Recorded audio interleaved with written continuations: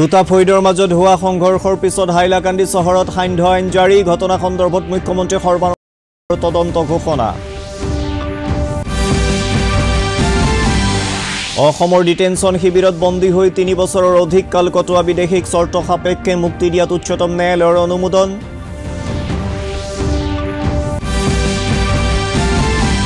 আৰু আই পি এলৰ দ্বিতীয়খন কোৱালিফায়াৰ মেচত দিল্লী কেপিটেলছক হৰুৱাই চেন্নাই ছুপাৰ কিংছৰ ফাইনেলত প্ৰৱেশ। কাইলৈ মুম্বাই ইণ্ডিয়ানছৰ বিৰুদ্ধে ফাইনেল খেল।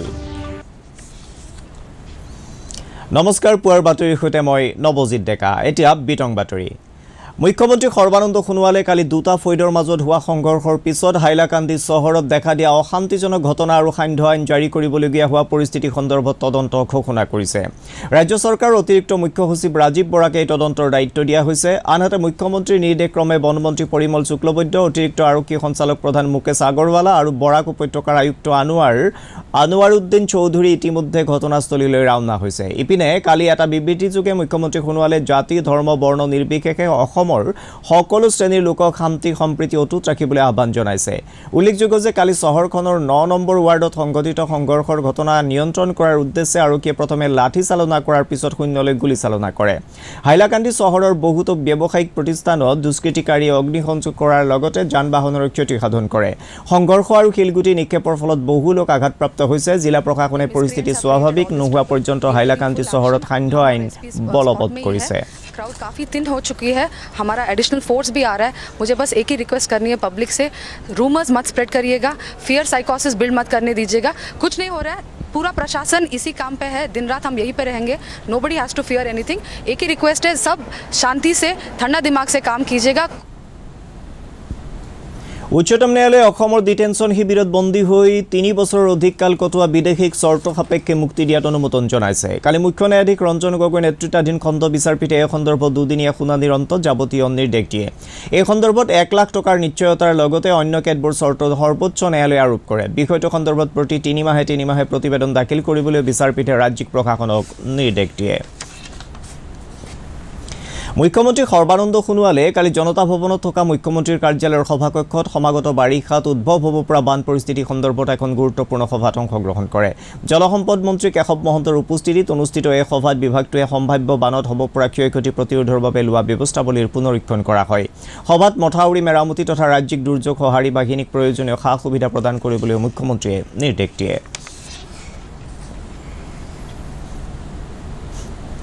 ভাৰত আৰু ভিয়েটনামে ৰাষ্ট্ৰীয় সাৰ্বভৌমত্ব আৰু আন্তঃৰাষ্ট্ৰীয় আইনৰ প্ৰতি সন্মান প্ৰদৰ্শনৰ জৰিয়তে ভাৰত আৰু প্ৰশান্ত মহাসাগৰীয় অঞ্চলক শান্তিপূৰ্ণ আৰু সমৃদ্ধিশালী কৰি তোলাৰ আৱশ্যকতাত গুৰুত্ব আৰোপ কৰিছে। কালি ভিয়েটনামৰ ৰাজধানী হানয়ত অনুষ্ঠিত প্ৰতিনিধি পৰ্যায়ৰ আলোচনাত দুয়োখন দেশে দক্ষিণ চীন সাগৰত আচৰণবিধি প্ৰস্তুত কৰাৰ বাবে একমতত উপনীত হ'ব পাৰিব বুলি আশা প্ৰকাশ কৰে।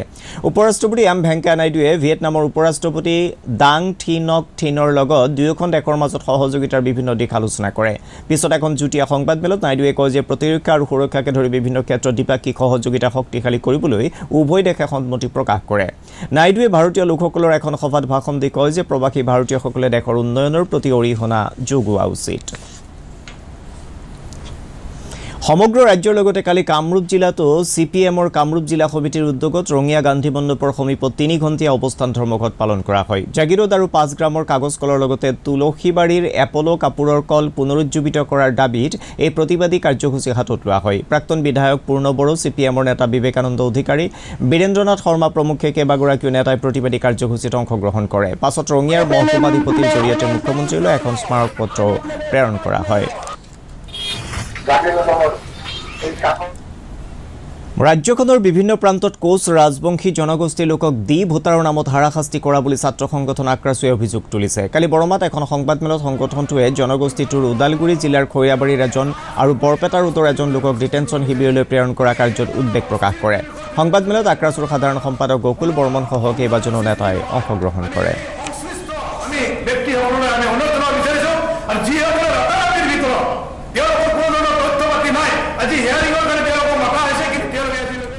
চেন্নাই ছুপাৰ কিংছ দল আই পি এল ক্ৰিকেট প্ৰতিযোগিতাৰ ফাইনেলত প্ৰৱেশ কৰিছে। কালি বিশাখাপট্টনমত অনুষ্ঠিত প্ৰতিযোগিতাৰ দ্বিতীয়খন কোৱালিফায়াৰ মেচত চেন্নাইৰ দলটোৱে দিল্লী কেপিটেলছ দলক ছয় উইকেটত পৰাজিত কৰে। খেলখনত প্ৰথমে বেট ধৰি দিল্লীৰ দলটোৱে নিৰ্ধাৰিত বিছ অভাৰত নটা উইকেট হেৰুৱাই এশ সাতচল্লিছ ৰান সংগ্ৰহ কৰে।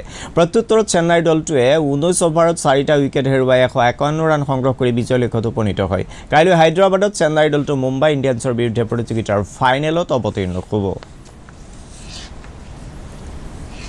অহা তেইছ মে'ত অনুষ্ঠিত হ'বলগীয়া লোকসভা নিৰ্বাচনৰ ভোট গণনা সন্দৰ্ভত কালি কামৰূপ জিলাৰ উপায়ুক্তৰ সৈতে বিভিন্ন ৰাজনৈতিক দল আৰু গুৱাহাটী লোকসভা সমষ্টিৰ প্ৰাৰ্থীসকলৰ প্ৰতিনিধিৰ এখন বৈঠক অনুষ্ঠিত হয়। জিলাৰ উপায়ুক্তৰ কাৰ্যালয়ৰ সভাকক্ষত অনুষ্ঠিত এই বৈঠকত প্ৰতিনিধিসকলক গণনা প্ৰক্ৰিয়াৰ সবিশেষ অৱগত কৰাৰ লগতে প্ৰাৰ্থীৰ কাউণ্টিং এজেণ্টসকলৰ ভূমিকা সন্দৰ্ভত বিশদভাৱে ব্যাখ্যা কৰে। এই বৈঠকত জিলা প্ৰশাসনৰ কেইবাজনো উচ্চপদস্থ বিষয়া উপস্থিত আছিল।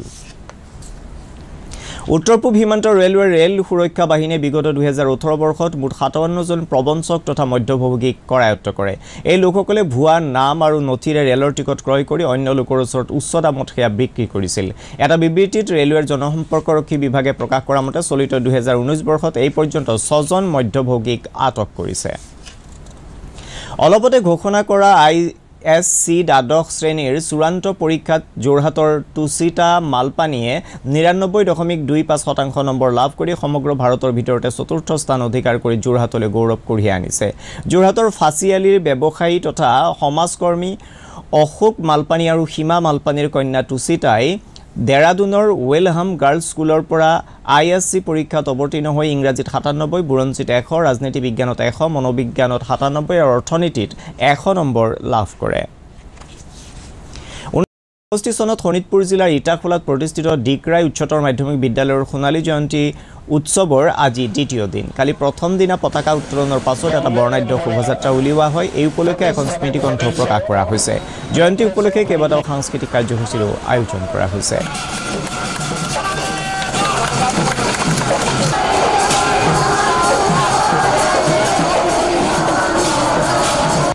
উপলক্ষে আয়োজিত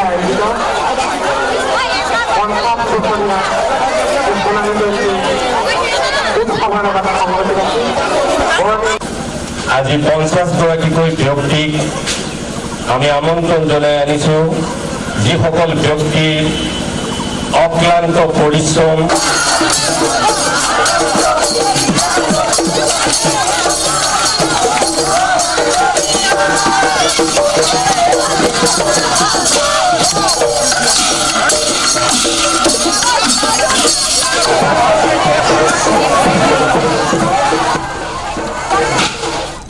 কেন্দ্ৰীয় চৰকাৰৰ উত্তৰ পূব ক্ষেত্ৰ সাংস্কৃতিক কেন্দ্ৰ ডিমাপুৰে উত্তৰ পূৰ্বাঞ্চলৰ ঐতিহ্যপূৰ্ণ কলা সংস্কৃতিৰ সংৰক্ষণ আৰু সংবৰ্ধনৰ বাবে প্ৰচেষ্টা চলাই আহিছে।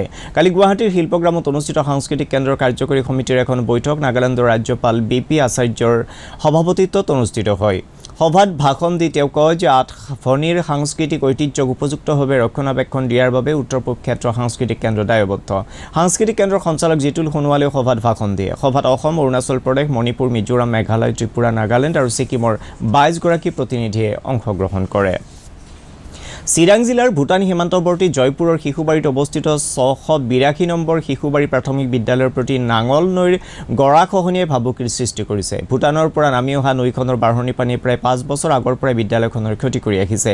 সেয়ে নব্বৈগৰাকী শিক্ষাৰ্থী থকা বিদ্যালয়খনৰ শিক্ষক আৰু শিক্ষাৰ্থীসকলৰ বাৰিষা আহিলেই চিন্তাত মগ্ন হৈ পৰে। বাৰিষাৰ বানে ৰুদ্ৰ মূৰ্তি ধাৰণ কৰিলে মাজে মাজে বিদ্যালয়খন বন্ধ ৰাখিবলগীয়া হয়।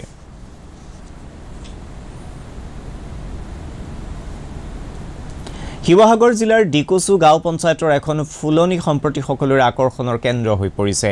পঞ্চায়ত কাৰ্যালয়ৰ কাষতে পৰি থকা প্ৰায় চাৰি বিঘা মাটিত পঞ্চায়তৰ পুৰুষ মহিলাসকলে হাবি জংঘল কাটি তিনি হাজাৰৰো অধিক মাটি কঁঠালৰ লগতে মূল্যৱান সাঁচি গছ আৰু সূৰ্যমুখী ফুলৰ পুলি ৰোপণ কৰিছিল। বৰ্তমান সূৰ্যমুখী ফুলবোৰ ফুলাৰ ফলস্বৰূপে ইয়াৰ বিনন্দীয়া ৰূপে প্ৰকৃতিপ্ৰেমীৰ মন মুহিবলৈ সক্ষম হৈছে।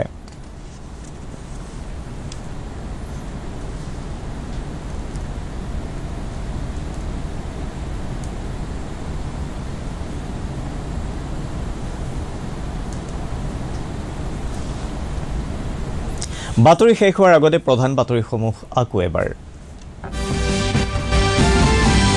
দুটা ফৈদৰ মাজত হোৱা সংঘৰ্ষৰ পিছত হাইলাকান্দি চহৰত সান্ধ্য আইন জাৰি ঘটনা সন্দৰ্ভত মুখ্যমন্ত্ৰী সৰ্বানন্দ সোণোৱালৰ তদন্ত ঘোষণা। অসমৰ ডিটেনশ্যন শিবিৰত বন্দী হৈ তিনি বছৰৰ অধিক কাল কটোৱা বিদেশীক চৰ্ত সাপেক্ষে মুক্তি দিয়াত উচ্চতম ন্যায়ালয়ৰ অনুমোদন।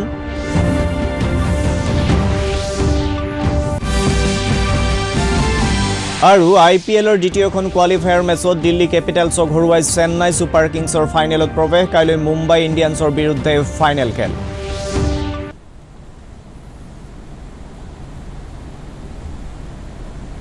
পুৱাৰ বাতৰি ইমানেই পৰৱৰ্তী বাতৰি বিয়লি চাৰি বজাত প্ৰচাৰিত হ'ব। নমস্কাৰ।